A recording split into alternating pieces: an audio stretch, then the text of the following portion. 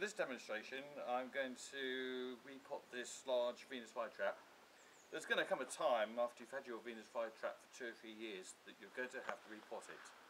That um, if you leave it in the pot for too long, because you fear of um, damaging it, eventually your Venus flytrap will lose its vigour, it'll lose its strength.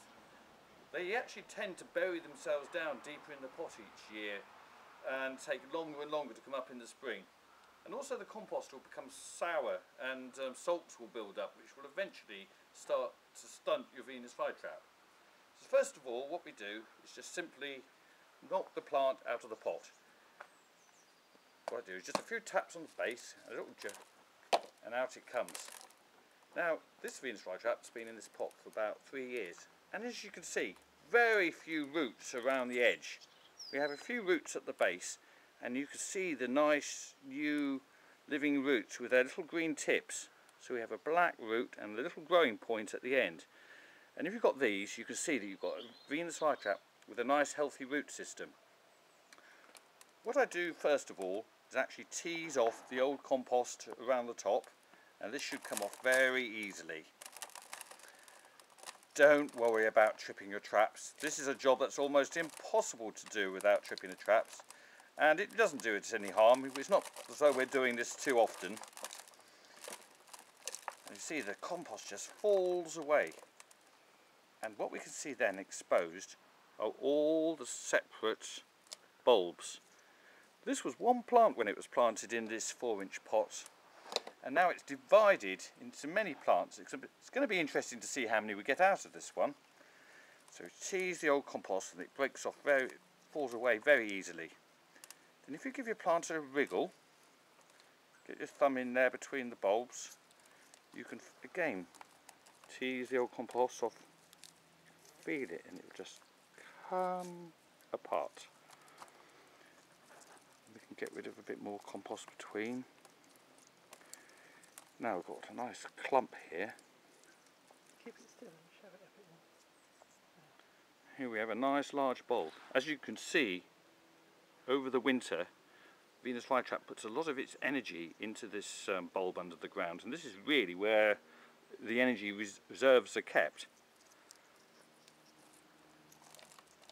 So separate them off and we're, we're going to end up with many plants of different sizes. You see we've got have a medium sized plant here, a little small one here. All of them have a few bits of root on this is this dead part here with all the dead roots on. As you can see there's no white on the growing points. This is the back of the rhizome, of the old rhizome. Because as a Venus flytrap grows forward, it dies off at the back. So what you can do is you can clean off the old leaves, pull them away.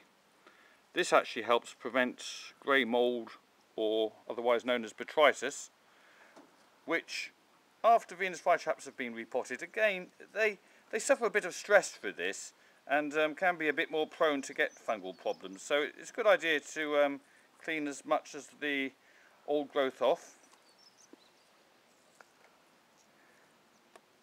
One more here, a small one there.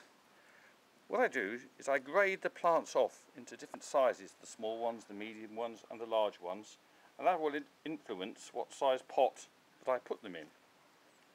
Venus flytraps do not like to be overpotted. In other words, you don't want to put a very small plant in a large pot. The plant really just does not like that. The compost becomes sour and the plants really won't grow into it. So if you get a nice large plant, you can put it in a larger pot. We'll start off with the large plant, which has got kind of one, two growing points. It's been fairly well cleaned off. What I do, get hold of the plant just at the top of the bulb, where the bring the leaves together, have the new roots hanging down, so they're going down into the bottom of the pot hopefully not all bent up you don't want the plants coming out like this get them nice in get your compost Now your compost wants to be nice and friable, not too lumpy, so that the compost can fall in amongst the roots. Hold your plant in the centre. Now getting the height is important.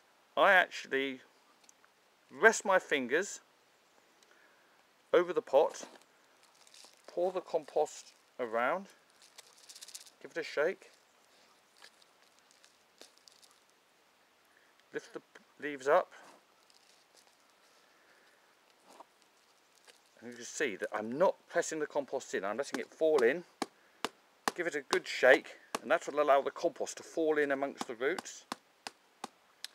And when I've done that, I will then put this straight into my water tray to allow it to draw up water so the roots won't suffer. And there we have one of the larger Venus flytraps done.